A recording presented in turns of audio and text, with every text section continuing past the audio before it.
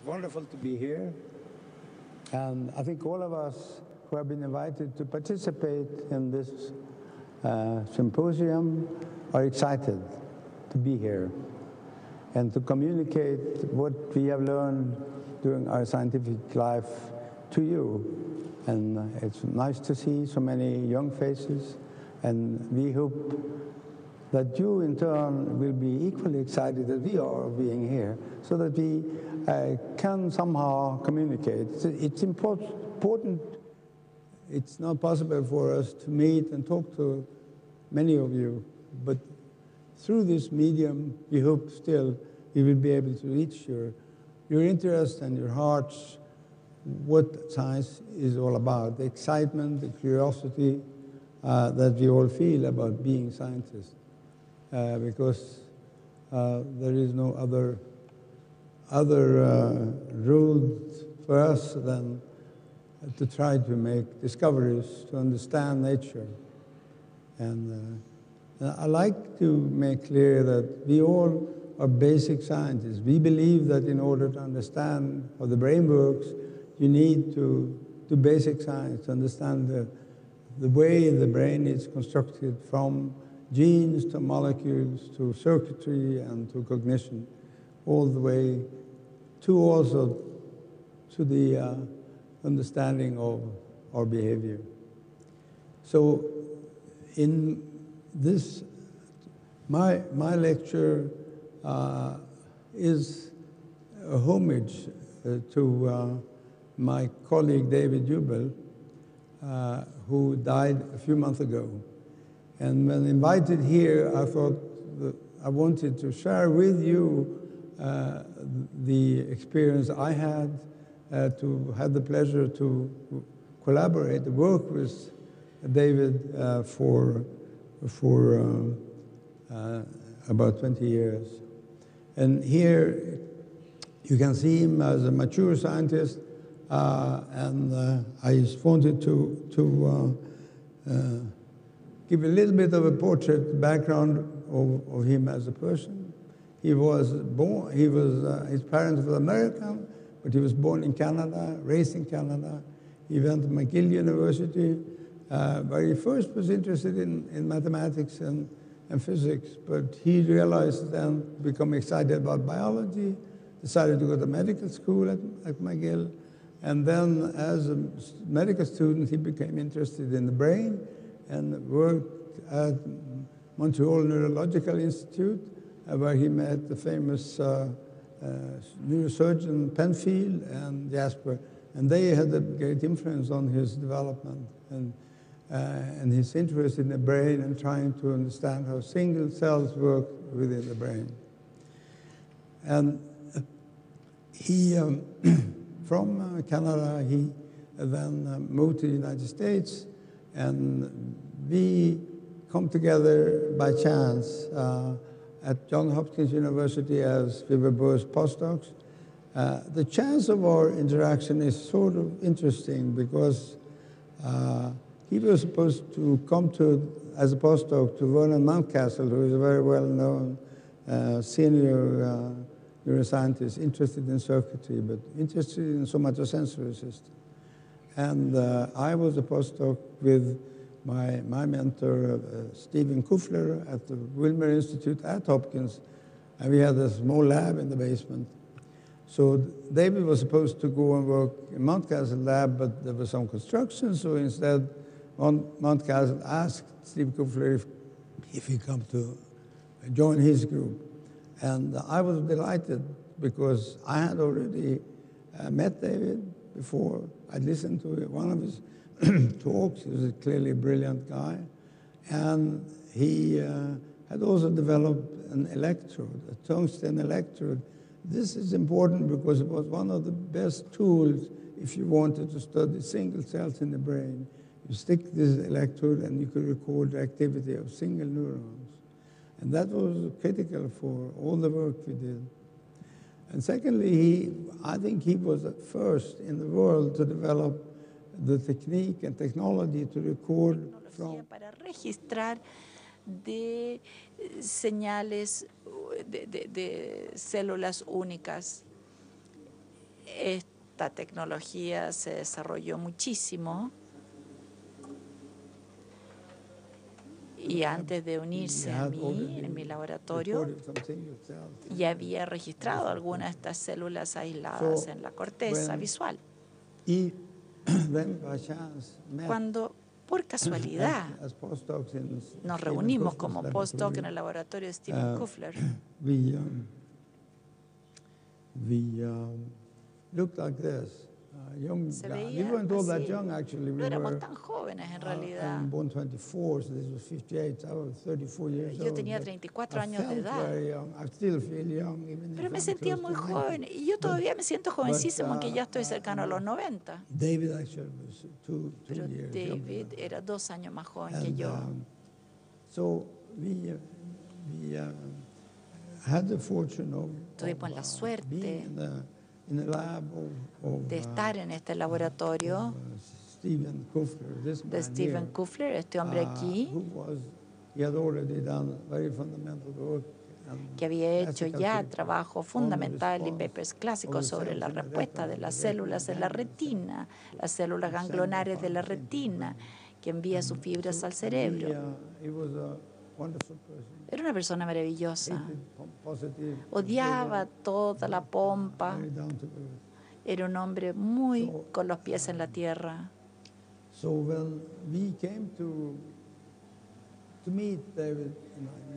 Cuando nos reunimos, David y yo, bajo Kufler, David y yo como que diagramamos hacia dónde queríamos llegar. Esto es to solo para ilustrar dónde queríamos llegar. Este es un corte transversal del cerebro humano. Para aquellos de ustedes que no están familiarizados necesariamente con el cerebro pueden ver, si es que encuentro el puntero, pero puede ver los ojos, la proyección desde el ojo al núcleo y este es el cuerpo geniculado lateral y después llega a la corteza visual primaria. David y yo together 20 pasamos más de 20 understand. años juntos tratando de entender esta parte de la corteza visual del cerebro. Tiene que recordar que esta corteza primaria proyecta eh, comunicación visual. steps. This was done in 50 years ago, Hay gente que ha seguido nuestros pasos. Esto se hizo más de 50 años atrás y ha habido otros descubrimientos que no voy a analizar aquí. Pero él dijo ahí que queríamos comprender cómo las células del núcleo lateral responden y cómo responden las células de la corteza visual. Les voy a mostrar algunas ilustraciones y una pequeña película de la respuesta de la célula. of Pero la importancia de este hombre, Kufler, Es que él había hecho papers ya clásicos, estudios clásicos sobre cómo responden a la luz los, los ganglios. retinianos. En la retina hay fotorreceptores que of tienen tres capas de células y hay un procesamiento de información visual. Cuando se registra de la, la célula del, ganglio de la retina, uno encuentra que no solamente responde las células a la luz, sino la forma de la luz es crítica para poder estimular una célula única. Uno tiene este electrodo de tungsteno que registra las neuronas únicas y ellos conversan con uno como en un código Morse. Y la secuencia depende mucho del estímulo. Algunas se excitan por luz, otras se inhiben por la luz. Pero Kufler pudo mostrar que de hecho en la superficie de la retina, si uno se estimula la respuesta a la luz, se excitan estas células al centro y, el estímulo alrededor puede inhibir la célula. Entonces, es una manera interesante de diseminar información. Tenemos la excitación y la inhibición trabajando en contra de una de la otra para hasta alcanzar el efecto óptimo. Fue un gran descubrimiento Y ustedes verán este punto en el centro y la respuesta excitatoria y después la estimula alrededor, después las células inhiben. Entonces la razón de este orificio del centro es que se estimula todo el centro, pero una parte central del, de, lo que lo rodea con la inhibición. Pero la orientación de esta barra las células responden bien a cualquier orientación de la barra. Y aquí la transformación de la información visual ocurre al pasar del núcleo retiniano a la corteza. Y ese es el primer descubrimiento importante que David Hubel y yo hicimos, mostrar que las corticales tienen propiedades especiales. Ustedes ya lo saben, pero la película muestra claramente la situación. Para ser claro, la primera parte de la película uno escucha el sonido, crack, crack. Es como son impulsos únicos gatillando y la frecuencia de este ruido cambia dependiendo del estímulo de luz. Hay una parte corta y después sin pausa repentinamente va a escuchar el registro de una célula en la corteza visual. La frecuencia, uno ve que el tono es distinto. Yo les voy a ir mostrando.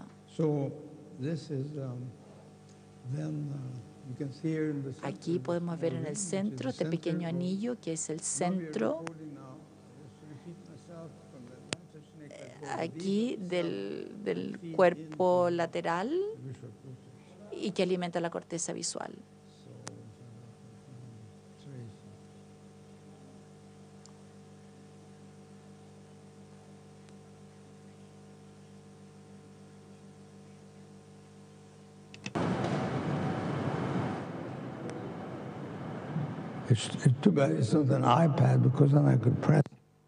Una pena no tener aquí el iPad porque ahí podría apretar ahí. No, se le perdió. Está escondido.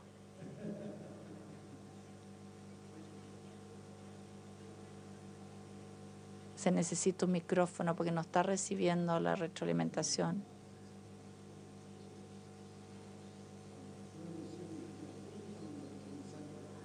Pongámoslo al centro. Ponlo al centro. ¿Quieres poner play?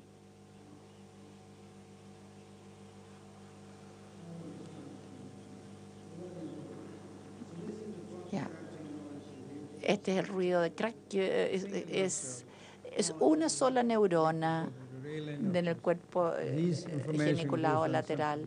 Esta información viene del centro, se estimula eh, los alrededores, inhibe la célula y después se desactiva cuando se apaga la luz. Es así de simple. Pero resulta que la célula en el geniculado lateral tiene las mismas propiedades de campo receptivo. Este es un punto pequeño. No sé qué pasó con el sonido.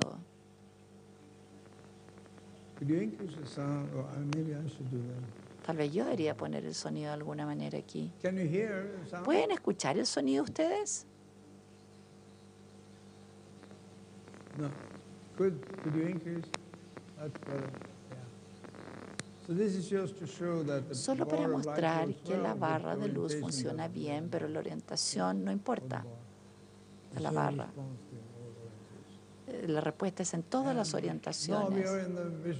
Ahora estamos en la corteza visual. Repentinamente vamos del núcleo a la corteza visual. Esto es un experimento que David y yo hicimos juntos. Este es un proceso. Mapeamos el campo receptor, el área que puede ver la célula en esta posición tan simple. Nada de alta tecnología aquí, muy simple. Resulta que no tuvimos la orientación muy bien y el tamaño muy bien, tampoco lo conseguimos, pero, pero tenemos la esencia de la propiedad de la célula. Y aquí no se oye nada. ¿Podrían aumentar el volumen, por favor, alguien? ¿Alguien si lo puede ayudar con el sonido? ¿Quién está a cargo, por favor, del sonido? Ahí andamos mejor. Ahí estamos. Ven que responde en cualquier dirección de movimiento. De hecho, prefiero un poquitito al lado izquierdo. Este es otro punto crítico. Los mismos receptores han sido estimulados por esta barra de luz, pero esta célula no lo puede ver. Solo cuando la barra tiene la orientación cerca al eje vertical. Eso es increíble. La naturaleza es impresionante. La naturaleza tiene secretos. Y tuvimos la suerte de descubrir uno de sus secretos en esta vía en particular. Y esto es solo para mostrar lo sólido que es. Esto es un paper y, lo movemos acá. Todos tenemos estas células en nuestro cerebro, sensible a la orientación. Y esto es una manera fundamental en la cual el cerebro codifica la información que viene en puntos de información, puntos de luz que llegan al cerebro y ahí lo rearregla de manera tal que la célula, la corteza, de hecho, responde solamente al contorno de la orientación apropiada. Esto encuentro yo es notable. He visto esta película ya 50 años y todavía me emociona con el sonido. Puede ser un poco infantil esto, pero la verdad es que para ser uno científico tiene que ser un poco juguetón y entusiasmarse de las cosas sencillas. Creo que esto es fantástico. Aquí, cuando comenzamos, David y yo, aquí armamos todo. Encontramos un pizarrón, tomamos hojas de papel, tamaño normal de 10 por 10, lo pegamos y encontramos un proyector viejo. Entonces la película que ustedes vieron era utilizando este tipo de equipo así de sencillo.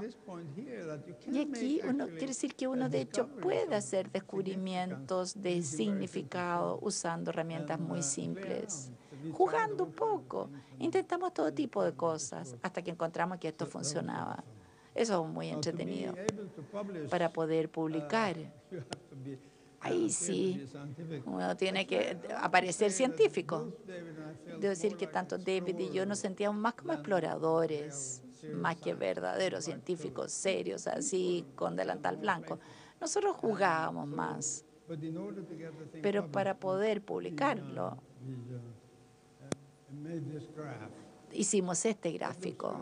Eso se ve mejor, ¿no es cierto? Así que ustedes pueden ver a la izquierda hay una cruz, el campo visual, el centro de la cruz es el centro del campo visual.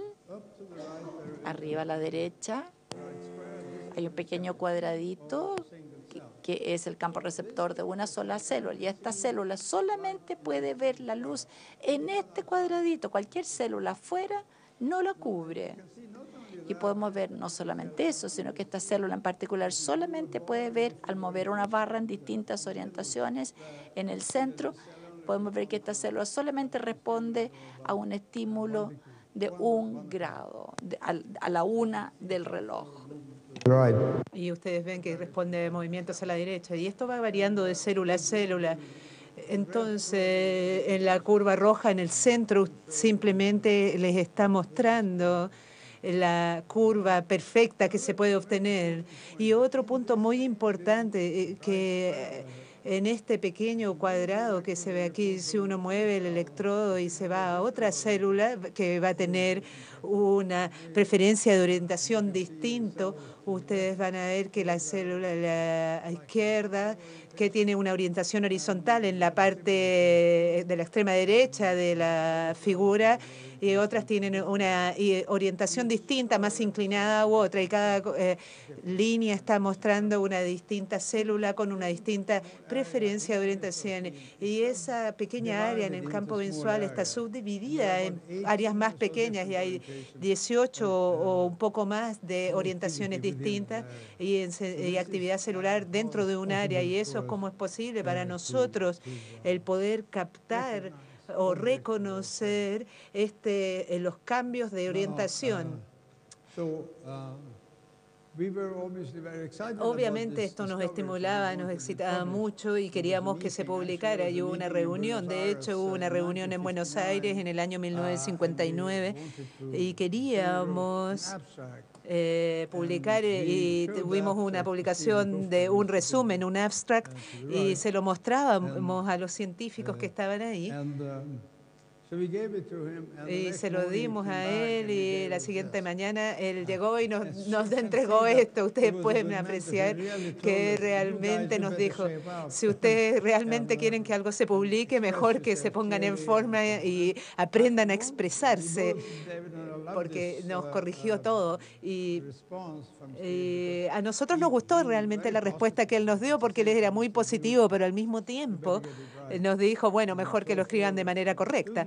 Y para aquellos estudiantes que están aquí, siempre busquen una opinión crítica, unas personas, y personas que opinen respecto a su trabajo de forma crítica y que les indiquen si ustedes están en el camino correcto o no. Nosotros, por lo tanto, revisamos el texto que habíamos escrito. y finalmente yo hice una presentación en Buenos Aires. Eh, uh, esto se una vez que esto se publicó, empezó a haber interés generalizado en esta área. Y este hombre, David Moore, quien eh, se dedica a la matemática cognitiva y es una persona con mucha imaginación, él quiso explicar acerca de esta orientación, captación de orientación de estas células del cerebro. Entonces él dijo, bueno, puede ver un oso de peluche y puede hacer que estas células en, en nuestro cerebro que estén eh, captando eh, la orientación de distintas cosas y eso permita obtener una imagen tridimensional de lo que se está viendo. Entonces, en el diagrama a la derecha se hace un dibujo del oso de peluche en relación a cómo respondían las células en cuanto al estímulo y la orientación de este.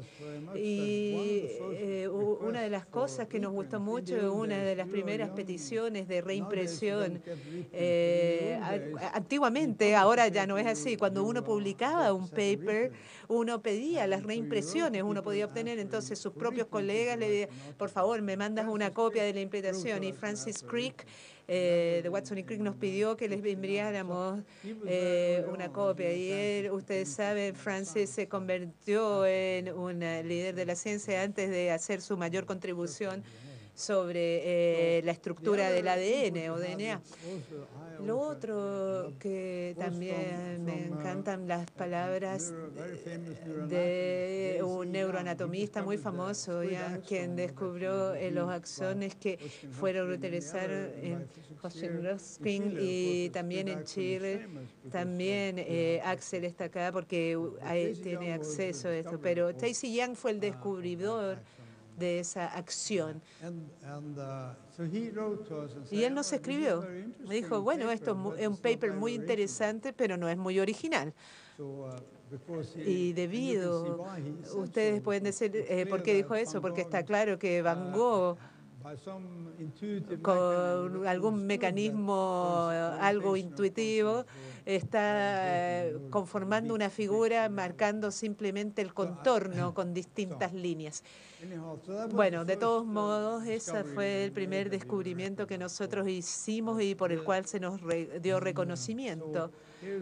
Aquí está David nuevamente, porque no deberíamos olvidarnos de David. En todo este trabajo, David obviamente Eh, nosotros disfrutábamos de la presencia de uno y otro y trabajamos juntos. Entonces la segunda pregunta que nos planteamos es ¿por qué tenemos dos ojos? Y nadie sabía cómo los dos ojos venían a trabajar en conjunto.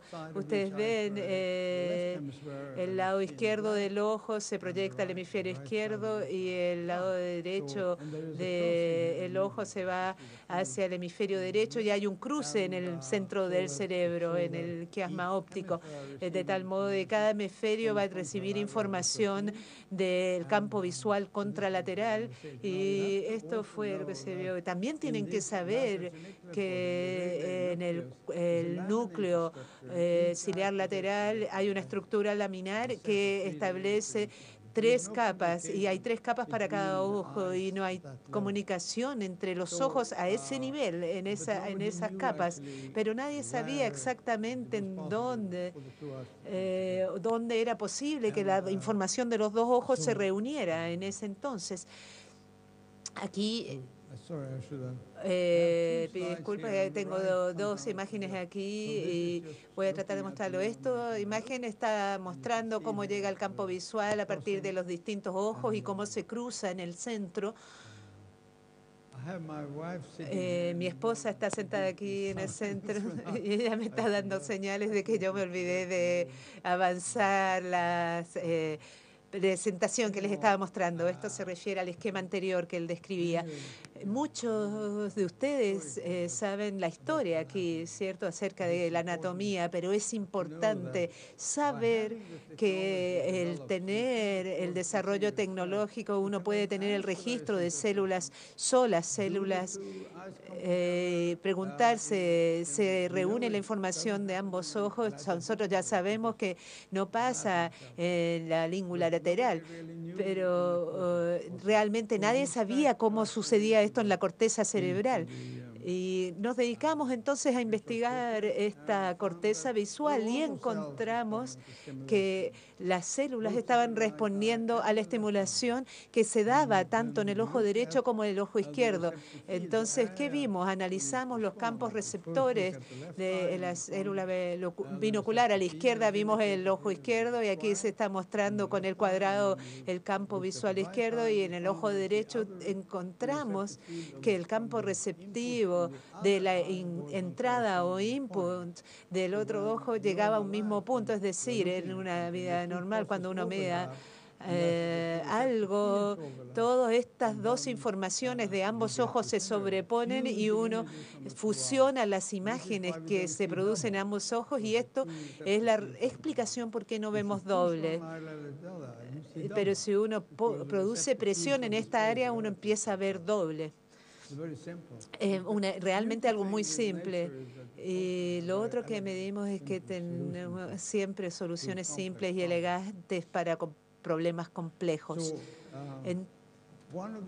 una de las cosas que también nos sorprendió que eh, inicialmente que hicimos registro de las células que, eh, como respondían del ojo derecho e izquierdo y siempre había un ojo que eh, no, eh, la célula izquierda, había una diferencia de dominancia colar de eh, lo que venía de cada ojo y siempre era el ojo izquierdo o el ojo derecho y eso nos llevó finalmente al descubrimiento de lo que se denomina la organización columnar de la corteza visual. Aquí tenemos un corte transversal de la corteza visual primaria, ustedes ven en la superficie, se observan eh, varias capas y eh, la corteza primaria o estriada.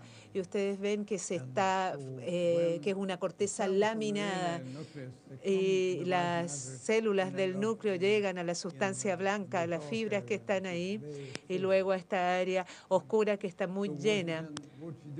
Lo que uno hace entonces, uno penetra desde la superficie con los electrodos y puede registrar la información eh, penetrando hacia la sustancia blanca, pero en esa vía puede eh, uno pasar por hasta 15 células. Entonces, si uno quiere hacer el registro de una sola célula, uno va identificando capa por capa. Entonces, pudimos identificar las distintas capas y las propiedades de respuesta. Eh, yo, hicimos esto tratando de descifrar cuáles eran las células, correspondían al ojo derecho y cuál al ojo izquierdo, y finalmente descubrimos que estaban agrupadas y conformando lo que dominamos columnas. ¿Y por qué decimos columnas? Porque Mount Caso, la persona con la, con la cual primero hablamos, nos había mostrado para otras eh, sensores eh, una organización de un tipo de disposición columnar para lo que es el tacto suave o el tacto más intenso. Y eso nos dio la idea de usar el mismo vocabulario. Y otra cosa que se descubrió es que la penetración a las distintas horas. En cuanto a la preferencia ocular, uno va a encontrar células con la misma preferencia de orientación y contorno, pero también están agrupadas en una forma columnar. Es decir, hay dos tipos de columna. Columna para la eh, dominancia ocular y para la selectividad visual. No nos vamos a meter en detalle ahora, pero quiero que ustedes sepan que me voy a enfocar en la dominancia ocular porque eso va a llevar a la siguiente historia que me gustaría compartir con ustedes.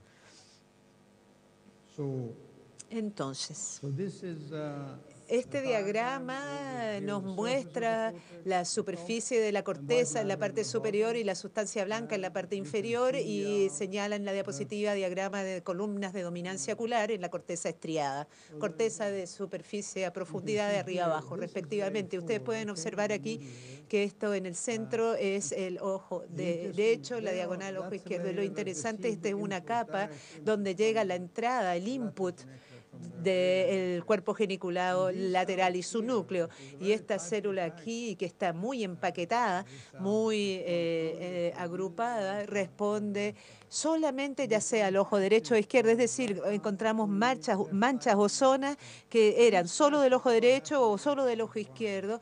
Y luego fue interesante que ustedes miran eh, las células eh, por encima y por debajo de un solo ojo, eh, se aparecía lo que observamos como dominancia, la dominancia del ojo derecho por encima de este parche o en la capa 4 que solo respondía a, estímulos que se producían en el ojo derecho. Entonces hay una penetración oblicua en esa línea oblicua que se ve.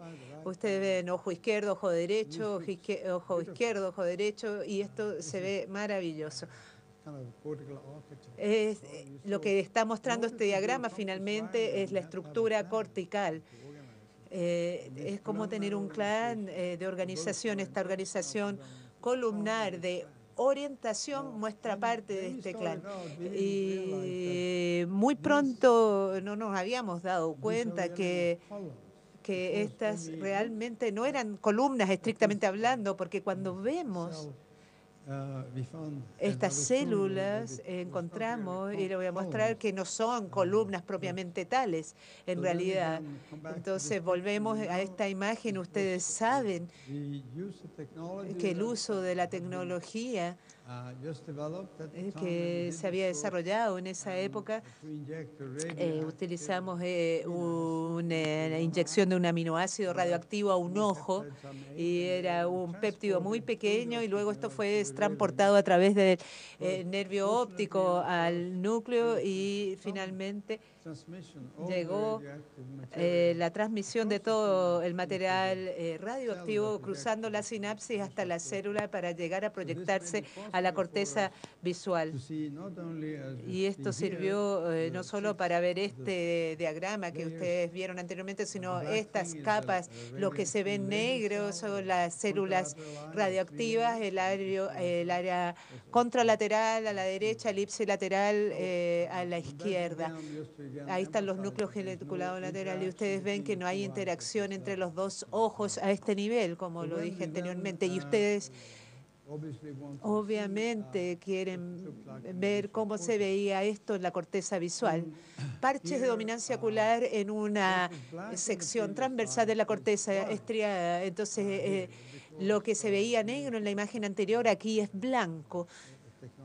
La tecnología revierte el contraste en este caso, utilizando microscopía de campo oscuro.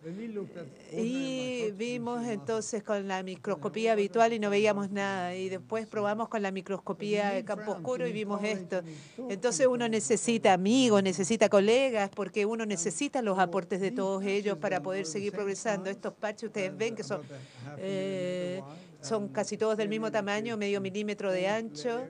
Tenemos cuatro capas en su disposición y esta es la región donde las células responden en un solo ojo.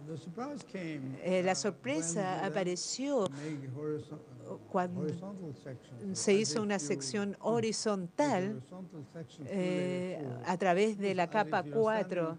Si ustedes están parados encima de la corteza mirando hacia abajo, ustedes van a encontrar que no son columnas, sino ustedes van a ver esto. Son bandas. Stripes lo pone entre comillas. Es decir, hay una eh, la, eh, la imagen anterior es un corte transversal, estas son secciones horizontales y realmente no son columnas, son bandas de células que estén respondiendo a un ojo u otro. Uh, y esto uh, fue una sorpresa para nosotros. Uh, y estos no, son columnas, a pesar de eso, nosotros igual las denominamos columnas y hasta el día de hoy me parece que todo el mundo las denomina así. Nosotros mantenemos nuestra terminología en forma conservadora.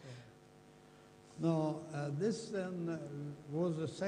este fue el segundo descubrimiento que hicimos y eh, nos sentíamos fantásticos, estábamos muy uh, contentos. Eh, nos invitaron a viajar a distintas partes del mundo, a dar charlas. Y David era un orador brillante y no podía hacer una presentación. Yo lo escuchaba, mucho, lo escuché muchísimas veces y siempre disfruté su presentación. Yo me carga escucharme a mí mismo. Así que... Y eso fue fantástico porque eh, había un gran trabajo de equipo. Fuimos a Japón, ahí están las fotos. Y eso fue una fase, por así decirlo, y al mismo tiempo estábamos pensando acerca de problemas y otros temas. Y, eso era lo que sucedía. Y esta fue otra pregunta que nos hicimos. Eh, si estábamos eh, pensando, ¿estas conexiones están presentes en el nacimiento o es algo adquirido debido a las experiencias visuales que aparecen? Y para responder esta pregunta, ¿naturaleza o crianza? ¿Cuál es la base de esto? Eh, ¿Son estas conexiones innatas o adquiridas? Los dos entonces teníamos nuestro antepasado, nuestra formación médica y podríamos comprender eh, cuáles eran los efectos. Entonces fuimos a la de nuestros amigos oftalmólogos, sabíamos que aquellos niños que nacen con una catarata congénita en, en, su cristalino, aunque se le sacara ese cristalino con esa catarata, pasaban eh, tres, cuatro, cinco años de edad, ese niño nunca obtenía una visión absolutamente normal. Y esto, toda esa discusión llegó a una argumentación filosófica de aquellos que creen en la naturaleza o la crianza. Y eh, tenemos realmente dos escuelas completamente distintas. Eh, que quieren dar cuenta de esto. Tuvimos el privilegio, por lo tanto, porque teníamos amigos eh, y que tenían esa tecnología y simplemente le podíamos preguntar a un mono recién nacido, ¿tiene usted las, las neuronas ya con orientación determinada? Y eh, miramos al mono el mono nos decía, sí.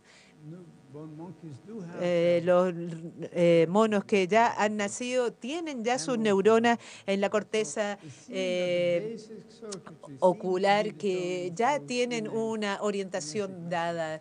Así que parece haber un mecanismo genético que las determina, pero yo también les gustaría decirle que el desarrollo de esto tiene un paralelo en vida cuando hay una cantidad suficiente de precisión, lo que llamamos el punto crítico, eh, cuando todas estas conexiones pueden ser cambiadas o entendidas de una manera muy característica. Y quisiera mostrarles brevemente cómo se produce esto en el efecto de la deprivación visual. El experimento fue muy sencillo. Pensamos que uh, tenemos un mono recién nacido, le tapa un ojo por un periodo determinado de tiempo que puede variar, y después se destapa el ojo y podemos ver si acaso hay algún cambio en la fisiología o anatomía del ojo. Ese fue el abordaje básico. Y después,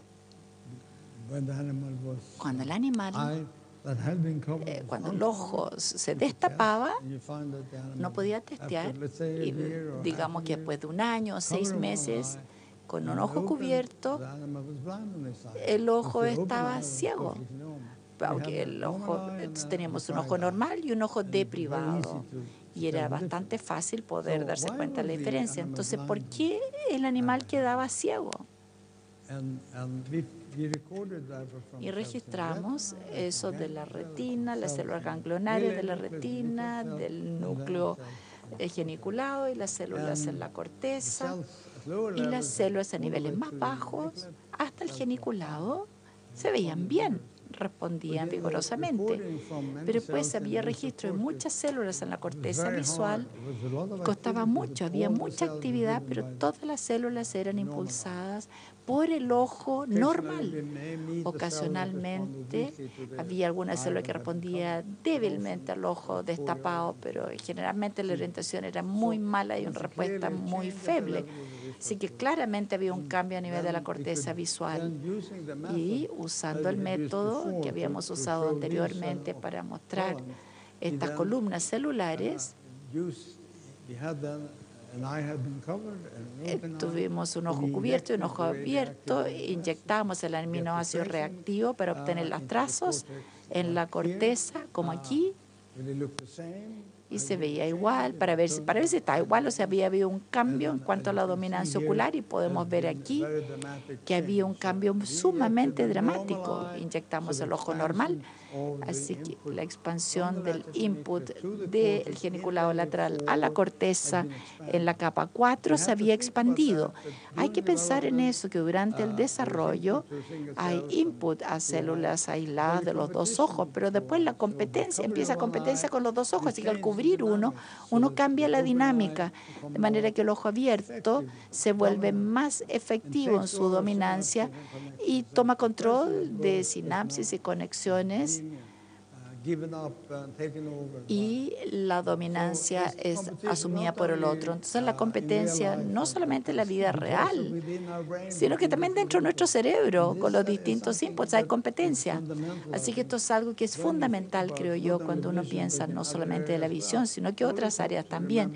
Siempre hay que recordar, ver que el input al sistema esté equilibrado. En este caso, pudimos demostrar que este cambio dramático en la anatomía llegó como gran sorpresa, que se podía cambiar el cableado del sistema a través de un procedimiento tan simple como cubrir un ojo. Y también, si este se mantiene más de un par de meses, es prominente el cambio. Esa es la razón por la cual un niño que nace con una catarata y se opera a los tres o cuatro años de edad va a tener permanentemente este tipo de situación debido al input del ojo normal ha tomado el control. Es por eso que el niño no puede recuperar la visión normal. Podemos determinar al cerrar los ojos en diversos periodos de tiempo, determinar que el periodo crítico de la plasticidad para este tipo de cambios era unas seis semanas más o menos. Y resulta que no es tan distinto en los humanos. Hoy en día, como resultado de este experimento, la clínica de oftalmología trató de encontrar niños. Un niño cada 10.000 nace con una catarata en un oj- ojo o en ambos, operate. y ahora lo operan al niño. Eh, Técnicamente es más difícil hacer un niño recién nacido. Y hay que recordar que un hijo muy pequeño eh, al nacer y al usar eh, lentes se puede salvar la visión en estos chiquitos. that punto que me gusta hacer aquí es que David Hubel y yo no partimos tratando de entender por qué los niños con tar- taratas quedan ciegos, sino que pasó a ser el desarrollo normal. Una vez que uno entendía la ciencia base del sistema, ahí uno podía decir, ah, bueno, esto se puede aplicar a una situación real. Yo he tenido padres de niños con cataratas que vienen a mí y lloran de felicidad por esto. uh, Muchas cosas, los niños on. con estrabismo también se puede aplicar. uh, Pero changes, durante este periodo de plasticidad hay cambios, hay cosas que uno debe corregir, cualquier déficit visual que uno tenga por estrabismo uh, o earlier. catarata, hay que corregirlo lo más pronto posible. Última diapositiva uh, David. de David. David era muy activo en el laboratorio, estuvo enfermo el último año debido a insuficiencia renal, pero llegaba al laboratorio todos los días y tenía gran pasión sobre su trabajo. Publicamos un paper, de hecho, unas par de semanas atrás juntos con algunos alumnos.